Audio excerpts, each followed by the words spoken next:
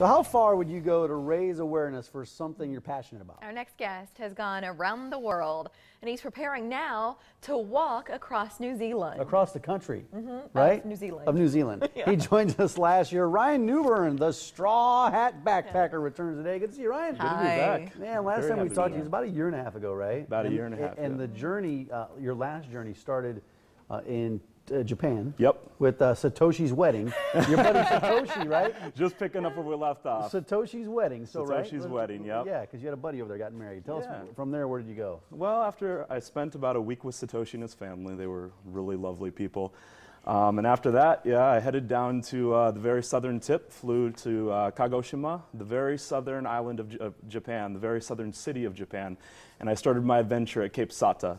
And from Cape Sata, I started walking, spending a month crossing the southern island of Kyushu, two months crossing the island of Honshu, and then another month and a half crossing the island of Hokkaido. On foot. On foot. All on foot. So you must have seen some fantastic sights and met some wonderful people, but you The had best. challenges too. What were they? Oh man, well I'll tell you, when I first started, I was completely inexperienced when it come to, came to like my gear and my equipment. Mm-hmm.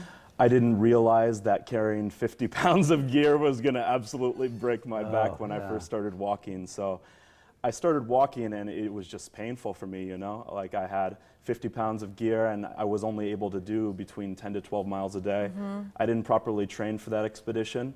But through those mistakes, I slowly got better and better over time, mm-hmm. and now I've learned from those mistakes, and I'm grateful for them because without them, I would be probably be carrying another Yeah. 50 Yeah. pounds. We, we've got the new backpack, right? This is for Yep. your next trip? Yep, this is the new backpack I'm carrying. I've adjusted my equipment to all ultralight gear, so I've adjusted my tent. My tent was four pounds before. and you've now got a it's two giraffe. Okay, we're looking at it. So what's the story with the giraffe? This is Mr. Frodo. Mr. Frodo walked across Japan with me. He's gonna walk across New Zealand with me. Uh-huh. We got the Ring of Power right here. What's the story with Mr. Frodo? I mean, that, where'd you find him Where's at? the reference for our viewers who aren't dialed in? Mr. Frodo from Lord of the Rings, you know, Uh-huh. he was given to me at the airport by a dear friend of mine, and I was just, I've just been traveling He's with him been with ever you ever since. since. That's cute. He's Hey, been can- talking to me. So. Can you back up prior to Japan? What happened? Because we saw that before and after picture. You, uh, you've lost a little bit of weight. Oh yeah. Prior to Japan, you know, I was uh, I wasn't the healthiest guy in the world. I had terrible eating habits grow, growing up. I had I mean I was about 315 pounds, you know, at my highest throughout school. I, I just I was completely unmotivated, you know. And after my success from the Yu-Gi-Oh World Championships, I started getting more motivated and thinking that I can do anything. So I lost the weight, and then I started having bigger dreams of traveling the world. What are you going to do in New Zealand? New Zealand. Uh, well, I'm flying out in three days, and uh, I'm gonna to hitchhike to the very northern tip of New Zealand, and I'm gonna start walking. There's a trail called Te Araroa, which is a 3,000 kilometer, about 1,900 mile uh, through hike, and I'm gonna go from the very northern tip of New Zealand to the very southern tip.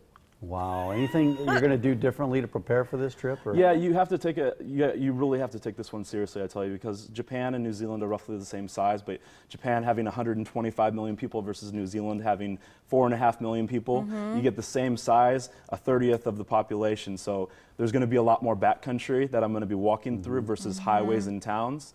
I'm going to have fewer resupply points, so I have to take Mother Nature seriously. I have to take this trail seriously. How do you account for things like wildlife when I mean you, you don't know what's coming your Oh, way? yeah. Well, Japan was quite scary because northern Japan is bear country, so Oh, I was always on edge Right, during sleeping that. with one eye open. Oh yeah, walking with both eyes open and singing while I'm walking, Right, right, making make sure some there's no bears around me or anything. Um, New Zealand's not like that at all. It's the exact opposite. The, there's not much wildlife. The only thing that is a threat is maybe a herd of sheep. That's not bad. Yeah. So where are you going next once you get past New Zealand? You've already started to plan your next trip. Yep, uh, I plan on crossing Australia. Um, Granted, I'm focused on New Zealand right now, but my plan is Mm-hmm. To go from possibly Sydney to Perth along the coast, which is Yeah. about 3,000 miles or And so. And beautiful so. country, too. StrawHatBackpacker.com is your website. Yep. How'd you get the name Straw Hat? Straw Hat Backpacker. Um, it's a reference to a show that I really love about a guy following his dream while wearing a straw hat. He mm-hmm. crosses the oceans and explores new worlds, and that's how I like to see myself. I'm a dreamer. Mm-hmm. I love to motivate people to chase after their dreams as well. Well, you are walking the walk, quite literally. it's exciting to see. And if you would like to keep up with this trip to New Zealand, you're welcome to plug in on Facebook. I don't know how you update that from like the middle of New Zealand, but maybe Wi-Fi here and there.